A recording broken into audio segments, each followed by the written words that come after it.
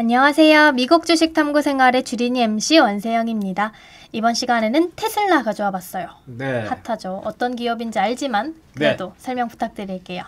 그쵸. 뭐 테슬라 모르시는 분이 없지는 않겠죠. 예, 이거 눌러놓고 그냥 어, 어 무슨 기업이야 본론이나 하고 누르진 않을 것 같아요. 볼- 본론이나 얘기하지 무슨 테슬라 뭐, 뭐 어떤 기업인지 얘기하고 앉아 있냐라고 하시는 분들도 있을 것 같은데 그래도 예, 저희가 그 좀 테슬라에 대해서 여러 가지 얘기들을 좀 하고 나서 얘기를 좀 펼쳐 보도록 하겠습니다. 일단 테슬라는 뭐 전 세계 전기차 시장을 주도하는 기업이고요. 혁신의 아이콘 일론 머스크 CEO의 꿈을 현실로 만들고 있는 기업입니다.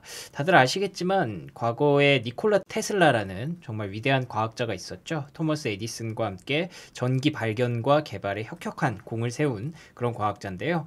어, 그 이름을 따서 테슬라가 됐고요. 2003년 창립 이래 2017년까지 46억 달러 적자를 기록하는 등 생존 전망도 불투명한 그런 기업이었습니다. 하지만 일론 머스크가 2007년에 이제 스스로 CEO가 되면서 어, 2018년 테슬라 모델 3의 안정적 양산까지 이끌어 오면서 어, 2019년 말부터는 흑자 전환에 성공했고요. 지금은 기가 팩토리 그리고 또 테라 팩토리라고 불리는 어, 전 세계적으로 이제 공장들을 여기저기 설치해 놨죠. 미국, 중국 그리고 독일에도 이제 완공을 앞두고 있는 공장들로 인해서 매 분기 전기차 현재 10만 대 이상을 인도하는 명실상부 세계 최대 자동차 기업 중 하나로 자리 잡았습니다.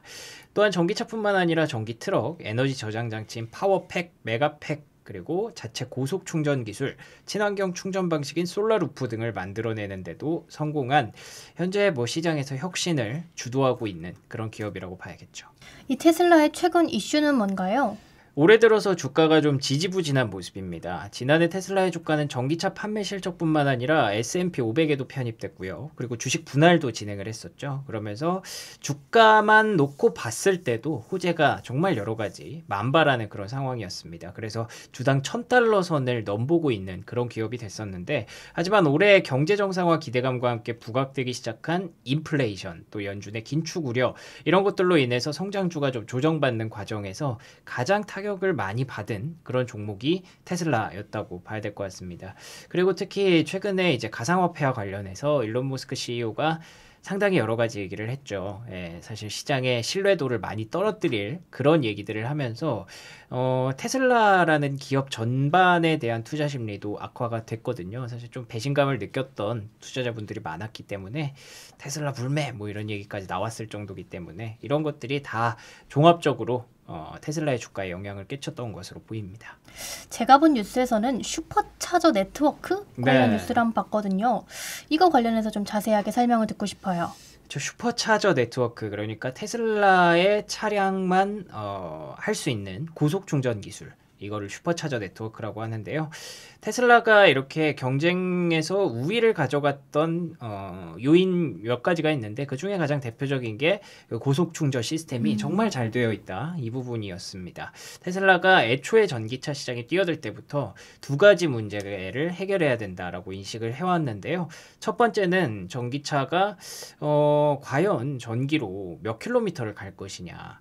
그러면 그 가다가 멈추면 그건 도대체 어떻게 할 것이냐. 이게 첫 번째 문제였고요. 두 번째가 이제 어, 그렇게 멈출 때 충전을 어디서 얼마나 빠르게 할 수 있느냐. 이 두 가지를 놓고 고민을 했거든요.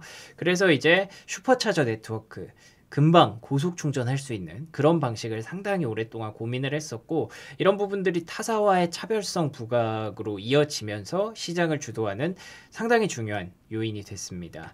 제가 전기차 초창기에 이제 제주도에서 어, 타본 적이 있거든요. 네. 그때는 전기차 충전 시스템을 이용하는 건 무료였어요. 어, 그래서 이제 그 기름값을 절약할 수 있잖아요. 빌리기만 하면은 기름값이 안 써지니까 그렇죠. 예, 되게 렌트할 때 되게 비교 우위가 있었단 말이죠. 근데 그때 항상 좀 고민했던 게 저도 그걸로 스트레스를 정말 많이 받았습니다. 음. 운전하다가 설까봐. 예, 그리고 반납하기 직전에는 막 누가 충전하던 거 뺏어서 했어요. 진짜 죄송한데 제발 제가 저희가 지금 진짜 공항에 가야 어. 되는데 이것 좀 할 수 있겠냐 막 그랬을 정도로 네. 그게 항상 스트레스였고 그리고 충전하는 동안 뭐 한 한 한두 시간 정도 그냥 가만히 음. 핸드폰만 보고 남자 셋이 갔는데 이러고 이것만 보고 있었어야 했던 그런 시기도 있었을 정도고 그래서 이제 테슬라가 그쪽에서 비교 우위를 갖고 있으니까 시장을 장악하는 데 상당히 중요한 역할을 차지했었죠. 그 테슬라가 현재 고속 충전소를 북미, 유럽, 아시아 통틀어서 2만 5천 개 정도를 보유하고 있는 것으로 알려졌, 알려졌고요. 이거는 뭐 세계에서 가장 큰 규모로 어, 네트워크를 만들어 놨다라고 보시면 됩니다. 그리고 또 최근에 나왔던 기, 기사로는 중국의 총 5,000km 길이의 슈퍼차저 루트를 구축하기도 했다는 기사도 있었고요. 그런데 테슬라가 내년 중에 다른 완성차 업체들의 전기차에 슈퍼차저 네트워크의 사용을 허용할 계획을 밝혔다는 뉴스가 나왔습니다. 이게 유럽에서 나온 뉴스인데 작년부터 테슬라가 유럽 슈퍼차저 스테이션에 CCS 표준 커넥터 그러니까 이제 충전을 어, 다른 것도 할 수 있도록 이렇게 사, 범용화를 시키면서 유럽에서 판매되는 모든 전기차에 테슬라로 어, 테슬라의 충전기로 충전이 가능하게 만들어 놨습니다. 그래서 이제 최근에 독일 정부가 주도해서 유럽에서는 테슬라의 슈퍼차저 시스템을 활용할 수 있도록 해달라라고 계속 요청을 해왔고요. 유럽에서 허가가 진행이 된다면 전 세계적으로 확장될 가능성도 부각이 되고 있습니다. 그럼 테슬라의 실적은 어때요? 2021년 1분기 매출액은 103.9억 달러로 전년 동기 대비 74% 증가했는데 컨센서스를 소폭 하회했습니다. 하지만 영업이익은 5.9억 달러로 전년 동기 대비 110% 늘어났고 영업이익률도 5.7%로 전년 동기 대비 1% 포인트 향상됐습니다. 이에 따라서 EPS는 0.93달러로 전년 동기 대비 304% 증가했는데 컨센서스인 0.79달러를 18% 상회했고요. 어, 매출 증가는 차량 인도 증가 그리고 타 사업 부문 성장에 기인한 것으로 알려졌고 차량 판매 단가는 13% 정도 줄었는데 이거는 보니까 모델 S, 모델 X 이렇게 신형 모델 업데이트에 따른 차량 인도량이 감소했고 중국에서 제조된 차량 판매 비중이 늘어나면서 여기서 할인을 많이 해줬거든요. 음. 그래서 믹스가 좀 악화된 영향으로 보입니다. 전기차 후발주자들이 엄청 많이 등장을 했잖아요. 예. 테슬라만의 굳히기 전략이 있나요? 테슬라가 현재 미국 오스틴 그리고 독일 베를린에 기가 팩토리를 건립 중이기 때문에 2022년 이후부터는 생산 능력이 크게 늘어날 것으로 예상됩니다. 작년 기준으로 테슬라가 50만 대 정도의 전기차를 납품했고 올해는 80만에서 한 90만 대 정도로 전망을 하고 있습니다. 그런데 여기다가 두 개의 공장이 완전히 완공이 되면 공급 물량은 최대 200만 대까지 늘어날 것으로 예상됩니다. 이와 같은 공급량을 소화하기 위해서는 당연히 수요가 뒷받침이 돼야겠죠. 미국과 중국, 유럽 3대 주요 시장에서 전기차의 수요가 더욱 증가해야 되는데요. 만약에 수요가 부진했을 경우에는 생산 공정의 고정 비용이 높기 때문에 공장 가동률과 마진도 동반 하락할 수밖에 없기 때문입니다. 특히 폭스바겐이나 GM 같은 완성차 업체에서 이름을 날리고 있는 업체들도 잇따라 전기차 신모델을 출시하고 있고 니오를 비롯한 여러 중국 업체가 약진하고 있기 때문에 판매량 에 분명히 경쟁 상대로 어, 다가올 수 있습니다. 그래서 일각에서는 향후 12개월에서 18개월 정도의 테슬라 수요가 매출의 안정적인 성장세를 확인하는데 상당히 중요한 그런 잣대가 될 것으로 보고 있습니다. 그래서 또 수익성보다는 양적으로 더 성장해야 된다. 이걸로는 부족하다. 매출 성장에 더욱 심혈을 기울여야 된다라는 지적들도 나오고 있고요. 그럼 앞으로 기대되는 성장 모멘텀이 있어요?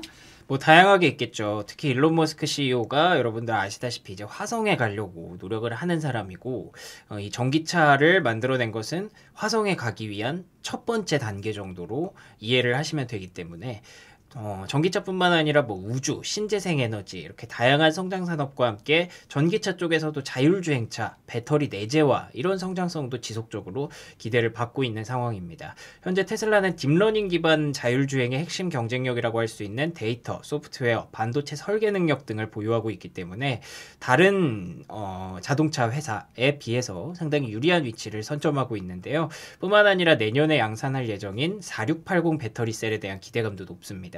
이 셀은 기존 2170 셀의 크기를 5배 이상 키우면서 패키징 비용을 절감할 수 있어서 현재 대비 10에서 20%의 원가 절감 효과가 나타날 것으로 예상하고 있고요. 또한 슈퍼차저 네트워크가 개방되면서 이게 국제 표준이 될 가능성이 있잖아요. 그렇게 되면 경쟁업체들을 압도할 수 있는 상당히 중요한 매출원이 생기게 되는 셈이기 때문에 앞으로도 뭐 전기차 관련 시장을 어, 지속적으로 물론 경쟁 상대도 늘어나고 뭐 혹은 누군가가 따라잡으려고 노력 노력은 하겠지만 그래도 선구자는 역시나 테슬라고 음. 앞으로도 선도할 가능성이 높은 것도 테슬라라고 봐야 될 것 같습니다. 그럼 마지막으로 투자 포인트 짚어주시죠. 어, 현재 시장 분위기가 사실 테슬라한테 그렇게 썩 유리하지는 않죠. 예를 들어서 시장 금리도 상승하고 달러화의 가치도 상승하는 과정이기 때문에 어떻게 보면 가장 불리한 입장에 놓여 있는 종목이 테슬라라고 볼 수도 있을 것 같습니다. 테슬라의 큰 그림이라든지 일론 머스크 CEO의 괴짜 같은 그런 행보들이 테슬라의 실적을 어떻게 보면 좀 불투명하게 만들잖아요. 어, 그리고 그 실적 자체를 보게 하는 게 아니고 뭔가 또 다른 걸 할 것이다. 그래서 또 비용을 분명히 쓸 것이다. 이런 우려를 계속 가질 수밖에 없거든요. 어, 하지만 이런 시기들을 지나가면 테슬라는 뭐 전기차 시장뿐만 아니라 4차 산업과 관련된 정말 다양한 분야에서 선도적인 위치에 설 가능성이 높아 보입니다. 그래서 실적과 주가의 움직임을 확인하면서 좀 장기적인 플랜으로 쌓아갈 필요가 있지 않을까 싶습니다. 알겠습니다. 슈퍼처저 네트워크 소식을 중심으로 테슬라를 살펴봤어요. 앞으로의 성장 모멘텀과 전망까지 들어봤습니다. 지금까지 테슬라였습니다.